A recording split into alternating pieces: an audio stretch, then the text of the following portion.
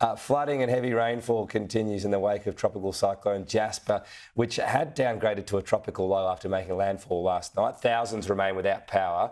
The hazardous conditions set to continue today. Joining me live is Emergency Management Minister Murray Watt. Thanks for your time. It sounds like the worst is over. The cleanup is mainly beginning. Is that the situation up there in the north? Yeah, that's about right, Tom. Uh, the fortunately, the system has now passed uh, the coast. Uh, it's gradually weaving its way across Cape York at the moment, very slowly, I might add. Um, there hasn't been a huge amount of damage from winds uh, and that kind of thing. The update we got today from the SES was that there's somewhere between 10 and 20 properties that have been damaged in the region, which, considering what might have happened, isn't too bad. But flooding is probably the main issue that's now facing uh, the region. It's still raining pretty heavily up here, as you can see behind me, uh, and there's some river systems in the region that are at risk of flooding. But uh, power, but power outages is probably the major issue facing the community. The Queensland government is doing a really good job of getting that back up and running. They're actually moving about 500 energy workers up here from Townsville and other regions to help with those reconnections. Um, so I recognise that it's frustrating for people, but help is certainly on its way.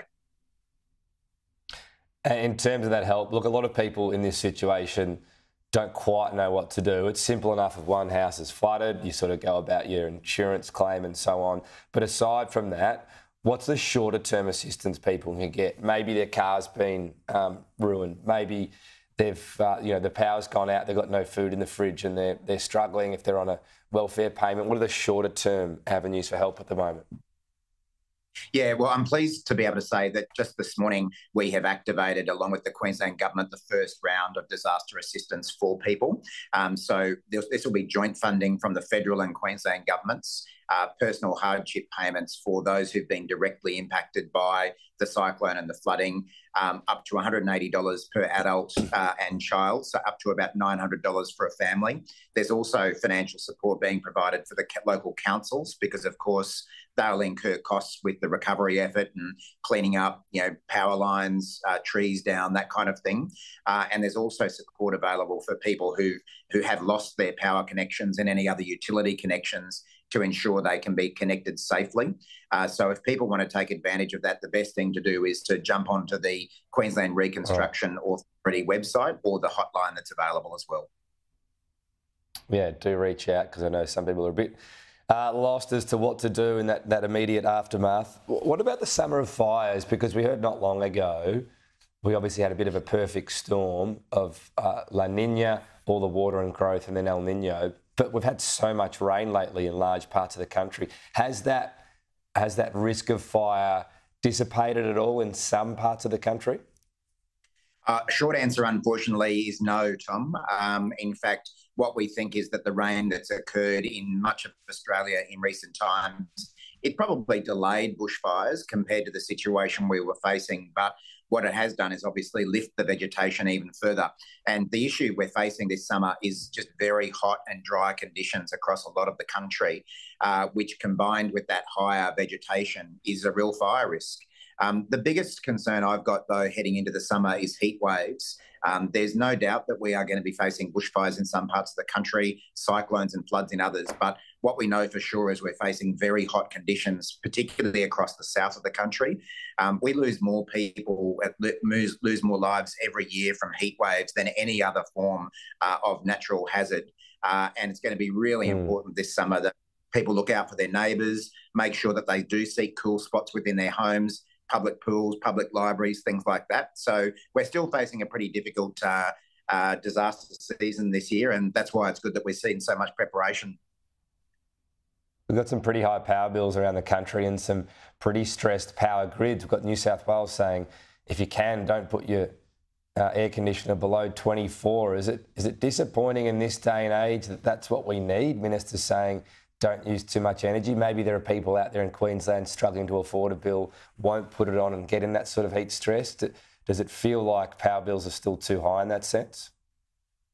Oh, look, of course, as a government, we want to see all we can do to bring down those power bills. And I've talked to you before, Tom, about some of the measures that we've taken with energy price relief and capping coal and gas prices, those types of things, which even the Bureau of Statistics the other day recognised had made a real difference to power prices. But we obviously recognise that people are doing it tough and we need to continue supporting them.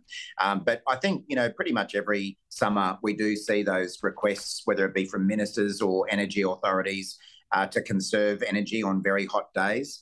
Uh, we have been able to bring a lot more energy generation into the network over the last year or so. What, what's your thermostat at in the Watt household? Well, I'm pleased to tell you we don't actually have air conditioning in our household, uh, Tom, uh, which is pretty strange in Queensland, I guess. But um, we've got ceiling fans and they run pretty fast through summer, but uh, we're lucky we've got some pretty nice breeze that comes through, although those nights in February can get a bit hot. Yeah, all right. Well, there you go. That's the ultimate efficiency. I just want to ask you, I'm not sure we'll talk again this year. How would you describe the Labor government's end of the year? And do you think the government needs to take stock over the summer about some things that aren't working that well? Uh, look, I think any fair assessment of the Albanese government's work this year can see a huge amount of progress towards the objectives we set when we won the election. Um, we're working really hard to address those cost of living pressures that Australians are facing. Um, and we need to remember that almost every one of those measures we brought in has been opposed by Peter Dutton and the coalition. You know, they like to give us a lot of stick about cost of living, but every time we've put something up, they've opposed it. Energy price relief, childcare relief, um, cheaper medicines, the list goes on. So we're doing what we can, but we mm. know there's more to be done. Um, but in the new year, I think that we'll also see even more around strengthening Medicare, uh, which is also a big cost of living issue for people, keeping that uh, a future made in Australia, building our manufacturing industry. And there's obviously been incredible work done on the national security front, biosecurity, natural hazards, those kinds of things. So um, I think that we've made some really good progress, but we're never going to be complacent and we know we need to keep earning people's trust.